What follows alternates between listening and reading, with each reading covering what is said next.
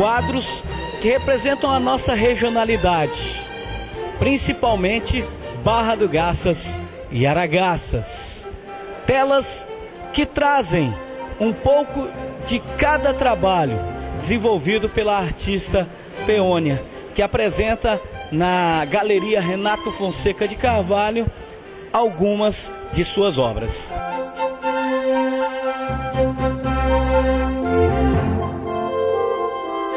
Nós estamos aqui, né, é, tendo o privilégio de desfrutar do movimento da Galeria Renato Fonseca e também podendo é, contribuir com essa movimentação, trazendo o nosso trabalho para ser visto aqui, né?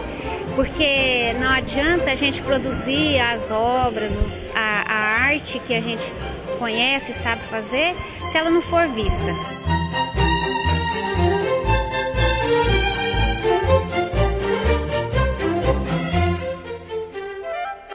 As pessoas vêm conhecer sua loja e também admiram o, o trabalho da Peone. Sim, um trabalho muito bonito, né? Essas artes. Os, as pessoas vêm visitar as artes, entram nas lojas, acabam comprando também. Isso é bacana. É algo recíproco. Sim.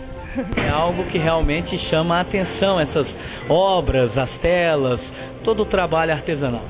Exatamente. Muita coisa linda.